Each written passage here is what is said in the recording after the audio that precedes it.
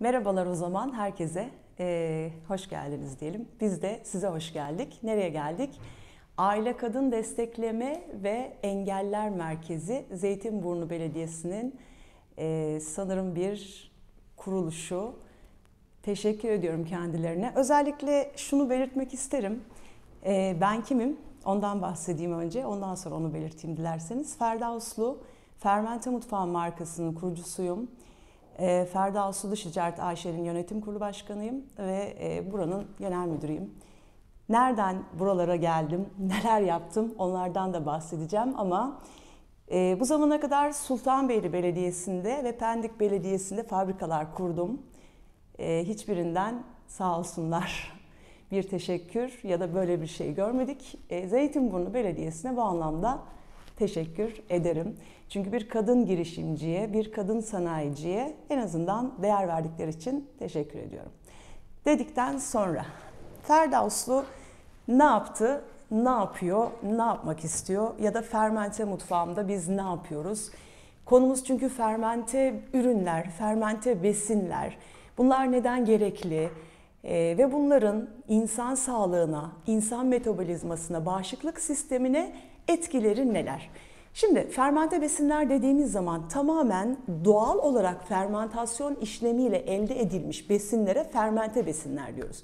Ki bunlar sirke, turşu, kombuçayı, boza, kefir, yoğurt gibi pek çok olabilir. Fermentasyonun zaten birkaç tane farklı e, yöntemi var. Mesela fermente deyince aklınıza bira, şarap gibi alkol içecekler de gelebilir. Doğrudur. Onlar alkol fermentasyonu ile elde edilirler. Halbuki bizim işimiz laktik asit fermentasyonudur. Yani gıdalarla elde edilen fermentasyonda önce bakteriler mevcut e, sebzenin ya da meyvenin içerisindeki şekeri alkole dönüştürürler. Sonrasında ise organik asitlere ve enzimlere dönüştürürler. İşte bizim vücudumuz için faydalı olan kısım da burası. Yani içerisindeki organik asitler, enzimler, fermentasyon esnasında oluşan, kendiliğinden oluşan ve gelişen pek çok zincirde probiyotikler, pek çok farklı enzimler dedim, vitaminler ve mineraller. Yani aslında burada bir başkalaşım, bir metamorfoz olayı var. Nasıl? Elmayı elma olarak koyduğunuz kazandan sirke olarak almanız var. Ve bunun içerisine hiçbir şey koymadan tamamen fermentasyon süreciyle bunu yapmanız var. Çok özür diliyorum. Şimdi bunu nasıl yapıyoruz? Yani elmayı koyup kazandan sirke olarak nasıl oluyoruz? Bu mümkün mü? Evet mümkün. Fermentasyon aslında kimyasal bir süreçtir. Şimdi kimyasal dediğim zaman aklımız karışıyor. E kimyasallardan uzak durmuyor muyuz? Kimyasal demek e, belki bunu ikiye ayırmamız gerekiyor ki çünkü kimyasal bir süreçtir. Yani bu doğada da vardır, bu her yerde vardır. Kimyasal demek zararlı, kanserojen anlamına gelmiyor. Kimya Kimya bir bilim. O yüzden kimyasal bir süreç ama doğal bir kimyasal süreç. Yani bu kimyasal sürecin oluşması için biz kimyasal bir etki kullanmıyoruz. Ne yapıyoruz mesela? Sirke anası duymuşsunuzdur. E, sirke ebesi ya da anası geçmişlerde çok fazla kullanılan ama son zamanlarda herhalde artık kullanılmayan, bilinmeyen, ülkemizde üretilmeyen bir malzeme. Açıp hemen göstereceğim. Bu benim kendi sirke anam ve Türkiye'deki tek organik sirke anası. Sirke anası dediğimiz şey bu. Böyle bir şey. Tufan. Şöyle yakından göstereyim. Gözüküyor mu ekranda? Ha. Bunun şeyi selüloz Bitkisel selüloz, bakteriyel selüloz kaynaklı. Bu nasıl elde ediliyor biliyor musunuz? Sirkenin yüzeyinde kendiliğinden oluşuyor. Doğru olarak sirkenizi kurduğunuzda o sirke içerisinde doğru bakterilerin ürediği sağlık açısından faydalı e, gıda olarak kullanabileceğiniz, rahatlıkla kullanabileceğiniz bir sirkeye dönüşüyor. Tabii ki bunun pek çok kuralı ve uyulması gereken hijyen maddeleri var. Çünkü bir e, kavanozun ya da bir tankın içerisinde probiyotik bakteriler üretmek asıl amacımız. Ama bunu düşünüyor e, düşünebiliyor musunuz? Laboratuvar ortamında yapmıyoruz. Tamamen geleneksel yöntemlerle ürettiğimiz ürünlerin içerisinde analizlere gönderdiğimiz zaman o probiyotikleri tespit ediyoruz. O e, vitaminleri tespit ediyoruz. O enzimleri tespit ediyoruz. Ama bunların yapılması için biliyorsunuz bir sürü laboratuvarlar kuruluyor ve bunlar laboratuvar ortamlarında yapılıyor. Bizim ise yaptığımız tek şey doğru sirke ve doğru turşu kurmak, geleneksel yöntemlerle yapmak, bunu lakto fermentasyon yöntemleriyle yapmak ve sonrasında turşumuzun içerisinde milyonlarca probiyotik bakteri buluyoruz. Bunun da sebebi az önce dediğim gibi doğru yöntem, doğru ham madde, doğru üretim. Buna e, ben nereden merak sağladım diyecekseniz şöyle anlatayım. Çünkü e, artık bu bir hikaye olmaya başladı. Bir belki başarı hikayesi. Umarım sonuna kadar başarıyla gider. Çünkü başarı bir yere kadar gelmekten çok e, o yerde kalıp ilerlemekle alakalı bana göre. O yüzden bu daha bir yolculuk. E, bu beşinci yılım bu yolculukta. Nereye gideceğimizi bilmiyoruz tabii herkes gibi biz de iyi yerlere gideceğimizi umut ediyoruz. Onun için çalışıyoruz. Onun için heyecan duyuyoruz. Onun için umut duyuyoruz. Çünkü ilk günkü heyecanımı kaybetmedim ben. Neden bunlar beni bu kadar heyecanlandırıyor biliyor musunuz? Çünkü ben e, kendimden bahsetmem gerekirse 2014 yılında çok ciddi sağlık problemleri yüzünden tıkanıklıklar yaşadım. Bu tıkanıklıklar öyle ki beni bir buçuk ay kadar e, hastanede yatıracak, diyalize bağlayacak. Yani kronik olmasa da akut bir böbrek yetmezliği yaşatacak düzeye geldi. Ve buraya gelene kadar zaten kilo, bel fıtığı ameliyatları, safra kesesi ameliyatları, kronik yorgunluk, migren, obezite zaten söyledim, uykusuzluk, ağrılar ve en son tabii ki dediğim gibi acile kaldırılışım ve böbrekle ilgili konulan teşhisim tamamen ne olduğu bilinmeden 15 gün diyalizde yatmam ki o zaman işte 40'lı yaşlarımın başındaydım şu an 48 yaşındayım. Yani kötü bir durum. Yani aklıma geldikçe bile e, tüylerimin diken diken olduğu bir durum. Tamamen bilinmezlik içinde yaşadığınız bir durum. Sonrasında sağ olsunlar Türk hekimlerimiz yapılan biyopsiler sonucunda teşhisimi koydular. Ee, ve benim almış olduğum bel ağrısı için içmiş olduğum bir ağrı kesiciden dolayı böbreklerimde bir reaksiyon başladığı ve tıkandığı, bununla ilgili kan yıkımı olduğu, sonra da böbrek yetmezliğine dönüştüğü e, ortaya çıktı. E, çok şükür, çok şükür ki açıldı. Açıldı ve hastaneden böbrek e, değerlerim doğru olarak çıktım. Peki çıktıktan sonra ne yapmalıydım? Asıl soru burada başladı benim için. Ne yapmalıydım? Çünkü şu ana kadar yaptığım şeyler belli ki beni çok iyi yerlere götürmedi. En azından bedenim için çok doğru şeyler yapamadım. Çünkü belki yoğun şekilde çalıştım, belki ona özen göstermedim, belki değer göstermedim, belki önemsemedim. Ama bunların hepsi yanlış. Çünkü bu beden gerçekten bu beyin, bu zihin bu bedenin içindeyse bu bedene çok iyi bakmamız gerekiyor. Tek sahip olduğumuz beden bu çünkü. Başka bir bedenimiz yok. Yok bu var. Bu bize bahşedilmiş. O yüzden buna şükretmek, bunun kıymetini bilmek ve buna değer vermek gerekiyor, sevmek gerekiyor. O yüzden de hem beslenmemize, hem zihin sağlığımıza, hem beyin sağlığımıza dikkat etmemiz gerekiyor. Sadece bir tanesine odaklandığımız zaman maalesef çok da verimli olamıyoruz. Ama hepsi inanın birbirini tetikliyor. Yani beslenmenize özen gösterdiğiniz zaman zaten otomatikman zihniniz, beyniniz, enerjiniz ona göre değişebiliyor, e, farklılaşabiliyor. Çünkü yediklerimiz ya da yemediklerimiz bizim kim olduğumuzu, ne olduğumuzu, nasıl düşüneceğimizi, nasıl hareket edeceğimizi belirleyen etkenlerden bir tanesi. Önemli, gerçekten önemli. Bu bedene ağzınız ya da teriniz yoluyla neler içeriye aldığınız önemli. İşte bu noktada ben fermentasyonu, fermente besinleri ve probiyotikleri keşfediyorum. Aslında bu bir benim açımdan keşif tabii ki yoksa ben Amerika'yı yeniden keşfetmedim. Ama ben benim bu bunlarla yolum burada kesişti. Çünkü karar verdim. Dedim ki Ferda sen bir kere hayatın boyunca kilo problemiyle uğraştın. Sürekli kilo aldın, verdin. Verdikten sonra yeniden aldın. Bunu nelerle yaptın? Diyetle yaptın, doktora gittin, hap kullandın, çeşitli saçma sapan yöntemlere de girdin. Peki bunlardan sonuç aldın mı? Alamadın. Ne yapman gerekiyor? Çok kalıcı bir yöntem bulman gerekiyor. Bunun adı nedir? Sağlıklı beslenme ve bunu bir yaşam stili olarak e, devam ettirme. Böyle deyince çok zor. Ne yapacağız? İşte şu kadar kibrit kutusu kadar peynir mi yiyeceğiz? Yok işte şu kadar kızarmış ekmek mi yiyeceğiz? Ot mu yiyeceğiz? Salata mı yiyeceğiz? Hayır, hayır, hayır. Aslında öyle değil. Aslında doğru şeyleri doğru zamanlarda yemekle alakalı. Aç kalmakla alakalı değil ki. Zaten e, fiziksel açlık dışında bizim daha çok açlık hissimiz zihinsel oluyor. Yani midemiz tokken ya da vücudumuzun yemeğe ihtiyaç hissetmediği zamanlarda da biz açlık hissedebiliyoruz. Neden? Tamamen duygusal sebeplerden. Zaten bunun da önüne geçebilirseniz bu beslenmeyle birlikte bunlar da birbirini tetikleyeceği için başlar. Ondan sonrasında açlık kafanızda, tokluk kafanızda, yemekler, besinler, gıdanız kafanızda ap ayrı yerlere oturmaya başlıyor. Fermente besinleri neden tercih ettim? Çünkü canlı probiyotiklerin vücudumuzda ne kadar ihtiyaç olduğunu gördüm. Özellikle bağırsak floramız biliyorsunuz bağırsaklarımız ikinci beynimiz ve artık çok önemli olduğu kabul ediliyor. Bağışıklık sistemi üzerinde çok önemli olduğu kabul ediyor.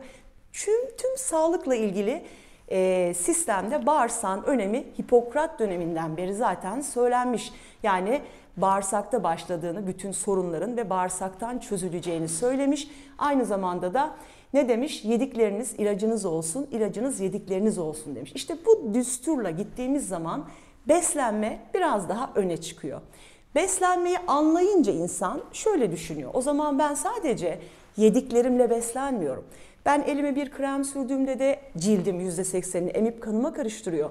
Koltuk altıma bir rolon sürdüğümde emip kanıma karışıyor. Dişlerimi fırçaladığım zaman ağız yoluyla zaten onların hepsini bedenime, içime, kanıma almış oluyorum. Dolayısıyla beslenme sadece ağız yolu yapılan değil, hem içten hem de dıştan yapılan bir beslenme olarak ele almak gerekir ve doğru beslenmeyi ben bu şekilde tanımlıyorum. İçten ve dıştan doğru beslenme olarak tanımlıyorum.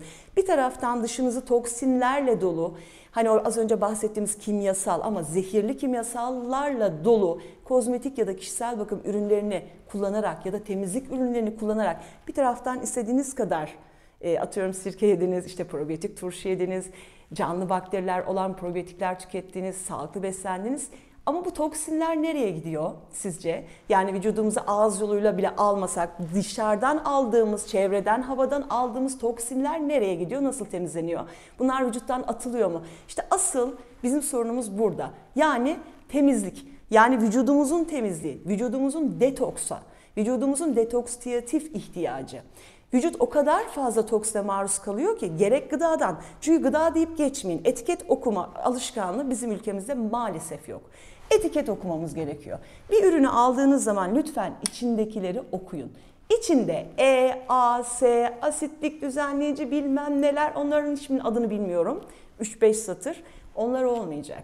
İçinde gıda olacak. Gıda. Çok pardon. İçindekiler lahana, tuz ve içme suyu.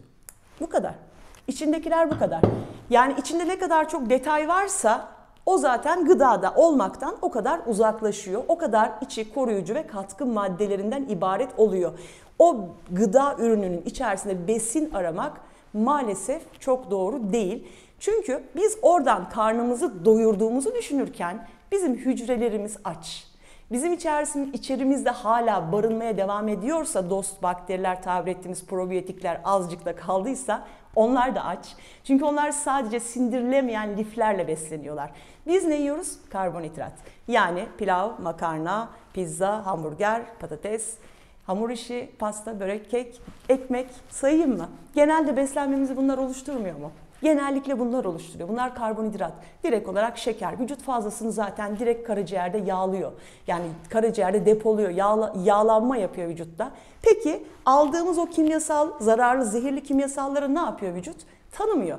Bir kere tanımıyor. Yani bizim genetiğimizde, genlerimizde bütün süreçlere bakın. Şu anki kimyasal, zehirli kimyasallar var mı? Var mı? Ne var? Tereyağı var, işte yumurta var, doğada ne varsa o var. Yani sebze var, meyve var, baklagil var falan fıstık. Ama bu sentetik içerikli şeyleri vücut tanımadığı için bunları zaten vücutta atmakta zorlanıyor.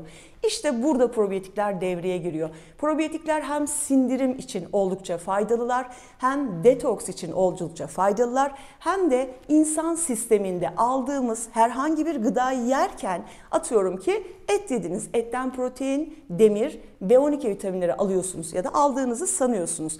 Bunların sentezlenmesi için bağırsak floranızda uygun sayıda probiyotik bakteri bulunması gerekiyor. Normal yani iyi düzenlenmiş düzgün bir bağırsak florasında insan vücudundaki canlı hücre sayısından kat kat daha fazla canlı probiyotikler bulunması lazım. Neden? Çünkü bu aldığımız vitamin, mineral ya da proteinlerin sindirimini, emilimini gerçekleştiren bağırsaktaki bakteriler. Aksi takdirde onları yediğimiz zaman onlar emilemeden atılıyor. İşte biz bu yüzden sürekli vitaminsiz kalıyoruz. İşte biz bu yüzden sürekli kan değerlerimiz düşük, demirimiz düşük. Sürekli herkes avuç avuç vitamin içmeye çalışıyor. Ama vitamin almak çözüm değil. Vitaminlerin sentezlenebileceği bir bağırsak florası oluşturabildiysek asıl çözüm burada başlıyor. Bu yüzden probiyotikler bu kadar önemli. Bu yüzden ne kadar farklı zincirde probiyotiği beslenmemize ekleyebilirsek bu önemli ve bunları canlı canlı almamızın nasıl bir yolu var? Ben sonuçta bu konsepti yani fermente mutfağımı kendi evimde ve kendi bedenim için oluşturdum. Evde bir laboratuvar yok. E ben Amerika'nın bilmem neresinden ya da başka bir yurt dışı ülkesinden canlı probiyotik getireceğim diye soğuk zincirlere sarılı işte binlerce lira veremem. Öyle bir bütçem yok. Peki bunu nasıl yapabilirim ev ortamında diye düşündüm ve e, ilk probiyotik başlangıcım böyle oldu. Turşu araştırarak oldu. İsmi turşu ama turşuyla aslında çok da alakası olmayan lezzet olarak çok güzel tabii ki ama çok daha farklı yan ürünleri olan bir turşu oldu. Neden? Çünkü içerisinde canlı probiyotikler oldu. Ee, sanırım 2014'te yaptığım bu işi tabii ki geliştire geliştire bu turşumu 2015'te değil 2019'da analize gönderdim ve içerisinde 7 farklı probiyotik suş bakteri bulundu. Bir herhangi bir şeyi probiyotik etiketi vurmanız için en az içerisinde 1 milyon canlı bakteri olması gerekiyor probiyotik. E, işte bizimkinde 6,5 milyon bulundu. Yani ilave bakteri koyarız bilmem ne falan filan diye e, konuşuldu mesela o zaman. Ben zaten asla öyle bir şey istemiyordum ve istediğim gerçekten oldu. Bu kadar turşudan bahsetmişken e, bir tane turşu açmak isterim. Çünkü genellikle turşumuz açılırken, şunu açabilir misin Tuba? Neden canlı olduğunu nereden anlıyoruz? Çünkü bizim başımıza bu çok iş açtığı için Taştı mı? Genelde kargo esnasında çalkalanıyor falan taşıyor, köpürerek taşıyor. Ondan sonra da insanlar işte bu neden taştı diye soruyor. Şöyle koyalım tabağa alıp. 100 gramında 650 milyon probiyotik bakteri var. Şimdi ben bunu yediğim zaman ne işe yarayacak? Ne yapacak? Bir kere e, lahana, özellikle lahana ile bunun yapılması Bununla ilgili benim ayrıntılı, püf noktalı tariflerim, atölyelerim tamamı var. Hiçbir ücretsiz. Ee, bütün eğitimlerim var. Yazılarım da var, videolarım da var. Bununla ilgili atölyede yapıyoruz. Kendi sayfamızda mesela e, muhtemelen Aralık'ta yetişir mi bilmiyorum ama probiyotik turşu atölyemiz var. Ben bunu da şöyle tanıtıyorum. Size turşu kurmayı değil, kavanoz içerisinde probiyotik çiftlik kurmayı öğreteceğim. Yani kavanozun içerisinde çiftlik kuracaksınız, probiyotik yetiştireceksiniz. Buradaki turşu probiyotiklerin e, besin kaynağı gibi düşünün. Tabii ki sonuçta kıtır kıtır, bakın kıtır kıtır hiç erimemiş, gayet e, güzel, lezzetli bir turşu çıkıyor. Çünkü geleneksel bir turşu içerisinde sirkenin, limon tuzunun vesairenin olduğu bir şey değil. Tamamen sağlıklı bir turşu. Evet, e, fermentasyonla yolumuz böylece kesildi ve turşu yapmak, sirke yapmak onlara başladım. Sonrasında zaten kemik suyunu araştırarak öğrendim ki o zaman daha Türkiye'de kemik suyu satışı, e, ticareti falan yoktu yani hiçbir şey yoktu. Ben evde kemik suyu yapıyordum. Benim takipçilerim benden mesela kemik suyu istiyordu. Ben tarifini yazıyordum sayfa sayfa bütün ayrıntısına kadar hala vardır. Fermente Mutfağım Yaşam blog ismim. Ama arkasından bana takipçilerim diyor ki Ferda Hanım bu çok zahmetli. Siz zaten yapıyorsunuz. Ne olur biraz da bana yapın da gönderin. Ama bu çok mümkün değil. Kemik suyunu nasıl gönderebilirsiniz ki? Yani ev imkanında. Ben çok ısrar eden gerçekten ciddi rahatsızlıklar olan e, takipçilerimi buzluğumda dondurarak bayağı uzak illere kemik suyu gönderdim hatırlıyorum. Tabii ki sonrasında e, bunu sterilizasyon yöntemiyle e, şu anda yapıyoruz ama gene elle üretiyoruz. Her şeyi elle üretiyoruz. Her şeyi insanla üretiyoruz. E, çünkü bunlar geleneksel ürünler. Yani geleneksel üretim. Benim burada altını çizmeye çalıştığım bu. Geleneksel üretimle bu lezzetler, bu tatlar ve bu değerler ortaya çıkıyor. Yoksa e, endüstriyelleşmiş, içerisine koruyucu katkı maddelerinin girmiş bir hattan koyup öteki hattan aldığınız e, gıdalar besin olmuyor maalesef. Maalesef vücudumuzu beslemiyor ve sonuçta bize pek çok toksinle toksin bırakıp geri gidiyorlar. Bu da ayrı bir handikap oluyor. İşte probiyotiklerin buradaki vazifelerinden bir tanesi de bu toksinleri vücuttan atmak. Karaciğerin yükünü azaltmak. Karaciğer detoks organı bilinir ama en büyük detoks organı bağırsak tabii ki de. Bağırsakta düzgün bir sindirimden söz etmeden detokstan söz etmek zaten mümkün değil.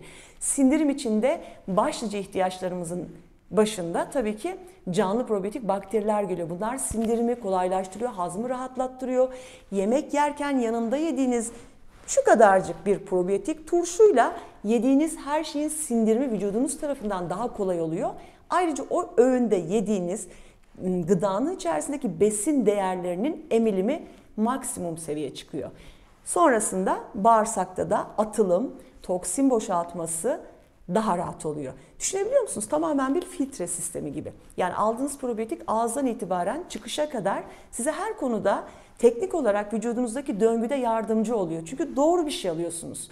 Doğru bir şey kullandığınız için her tarafa faydası olan hem vitamin sentezlemeye hem detoksa hem hazma hem sindirime hem de cilde kadar. İnanamazsınız probiyotik beslenmenin cilde o kadar büyük etkisi var ki cildinizdeki canlılık, parlalık, sağlık bile aslında %90 oranıyla içeriğiyle alakalı. Hep cildimiz evet dışarıyla bizim temas eden en değerli organlarımızdan bir tanesi ama cilt sağlığı sadece dışarıya sürdüklerimizle alakalı değil.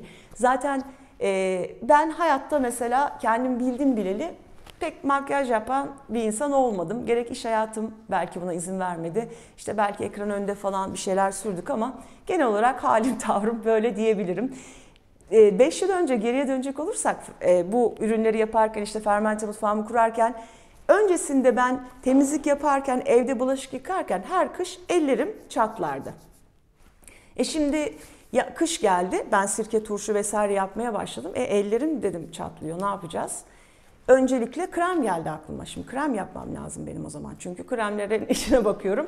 Kremlerin her birisi işte dolgu, sentetik malzeme şu bu. O zaman ne yapacağız? Elleri besleyecek, çatlatmayacak bir şey yapacağız.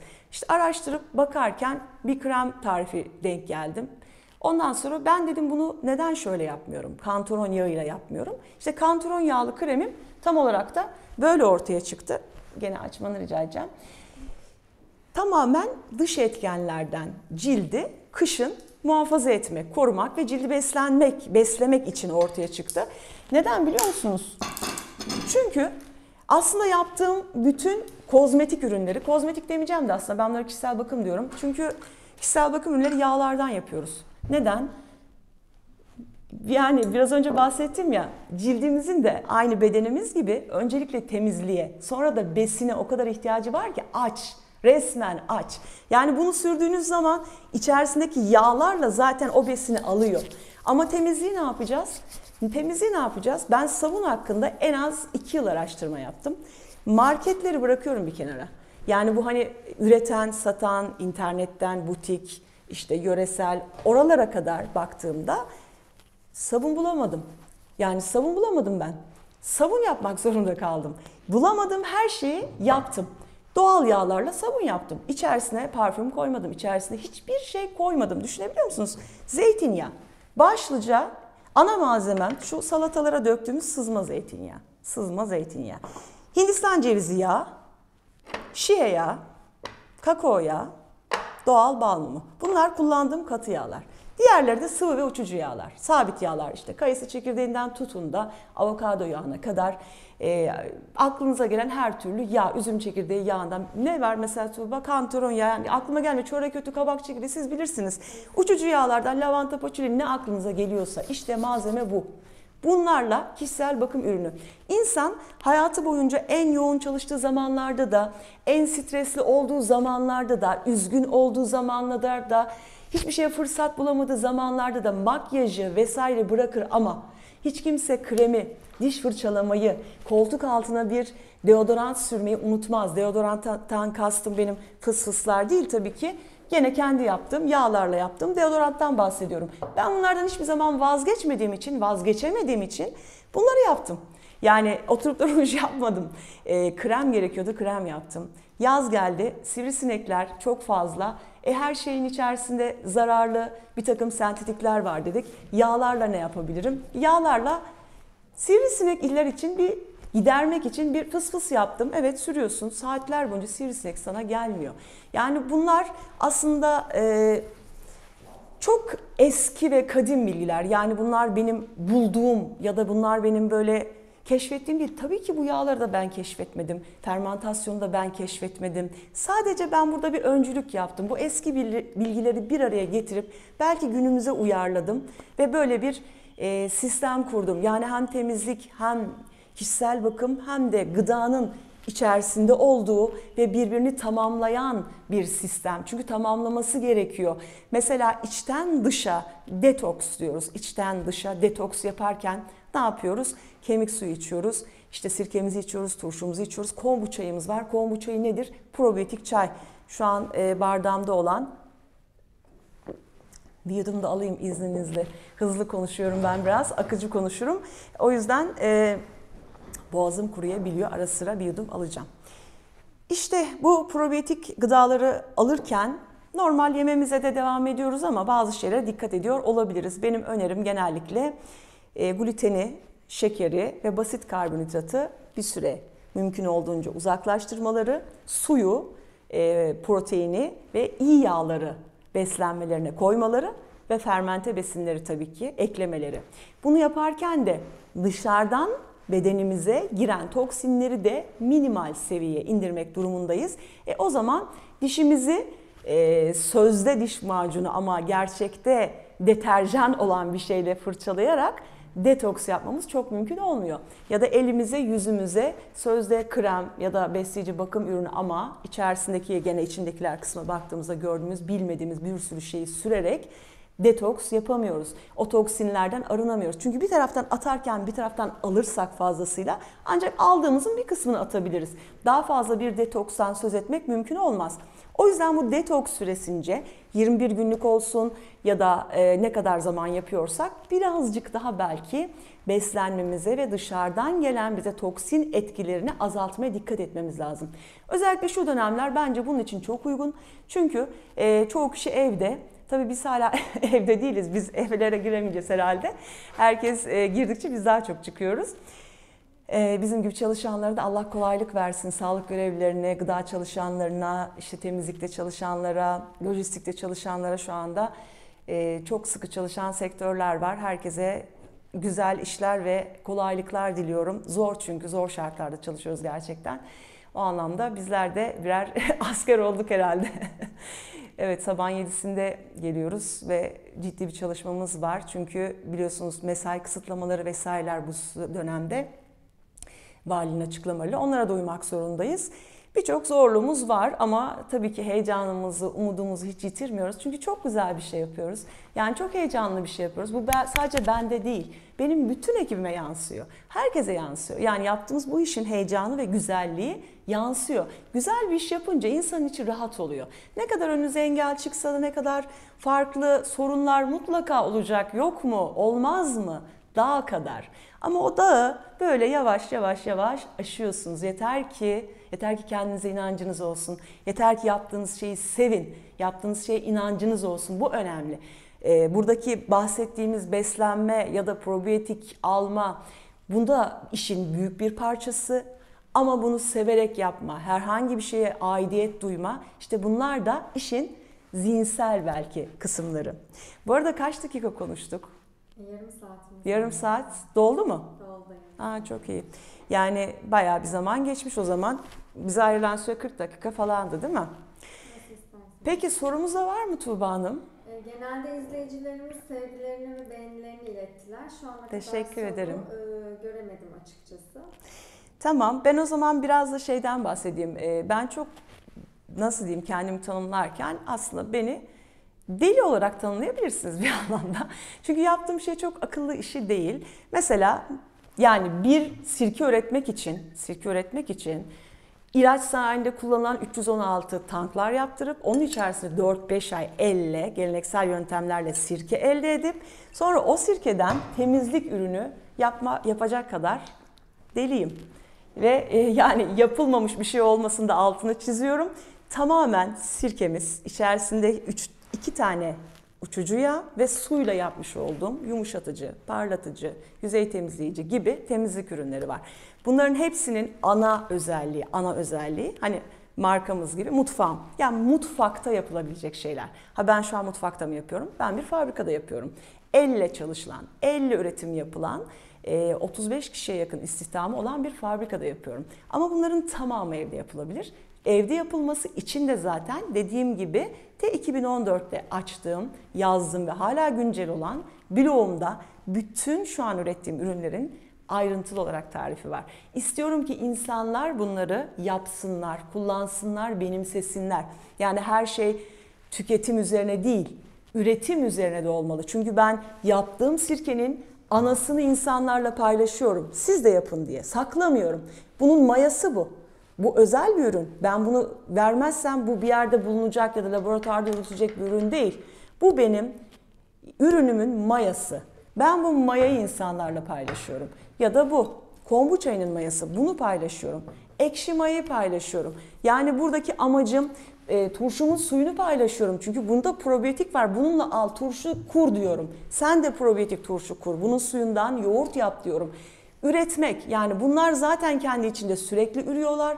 Sürekli iyi bakteri üretiyorlar ve bunların doğru ellerle buluştuğu zaman doğru insanlara da faydalı olmasını arzu ediyorum. Çünkü elle üretim yaptığımız için ben bütün insanlık için üretemem.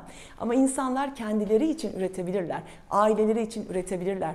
Kendi sağlıkları için, kendi beslenmeleri için, kendi hayat düzenleri için evlerinde yine küçük bir ortamda bunu yapabilirler. Hem bununla beslenirler hem de e, güzel bir uğraş olur.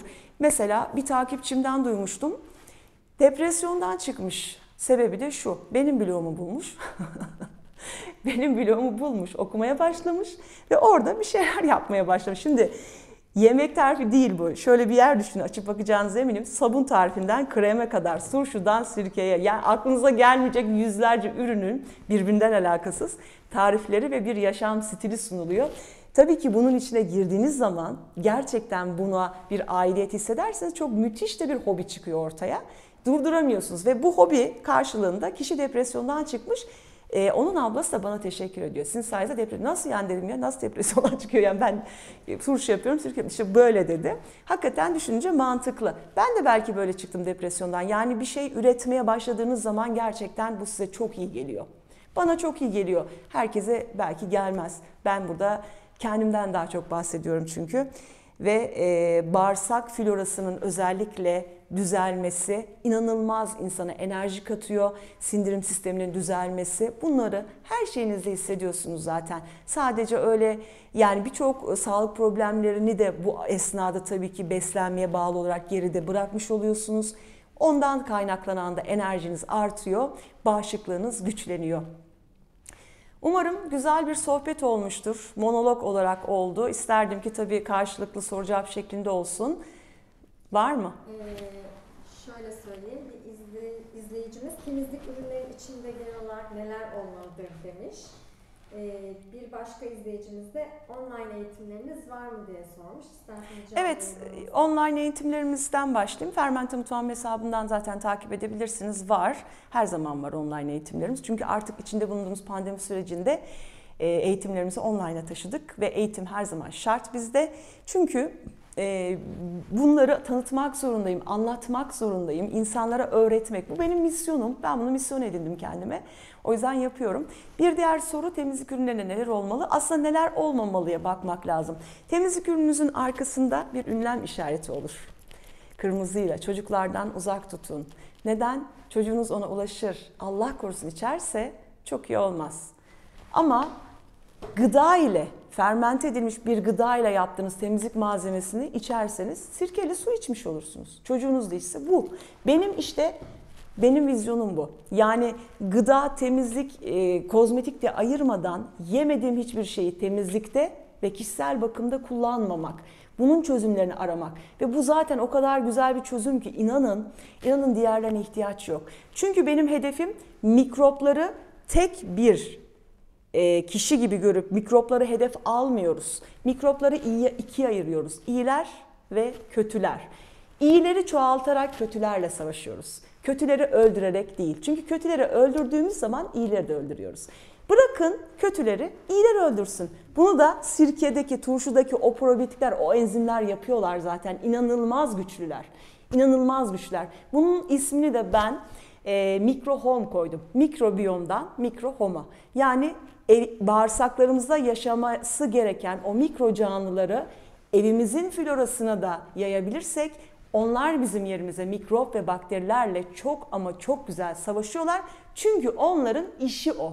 Yani onların evi nasıl ki siz evinizi korumak için dışarıdan gelecek herhangi bir tehlikeye karşı bir sürü planınız ve stratejiniz olursa işte onlar da kötü bakteri, mikrop, virüse karşı sürekli stratejileri var, silahları var.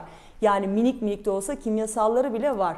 O işi onlara bırakıyorum ben. Sadece ben onları besliyorum. Diğerleriyle ilgilenmiyorum. İyileri besliyorum. Onlar da kötülerle benim için savaşıyor. Herkese de bunu tavsiye ediyorum. Dinlediğiniz için teşekkür ederim. Tekrar başka bir yayında umarım birlikte oluruz. Hoşçakalın.